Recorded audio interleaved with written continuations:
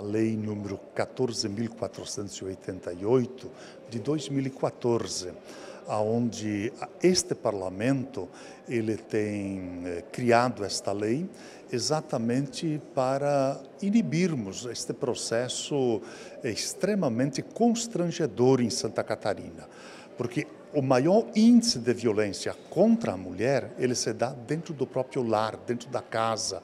E para nós é inadmissível, inaceitável que no século que estamos vivendo, que nós temos que conviver com a violência contra a mulher.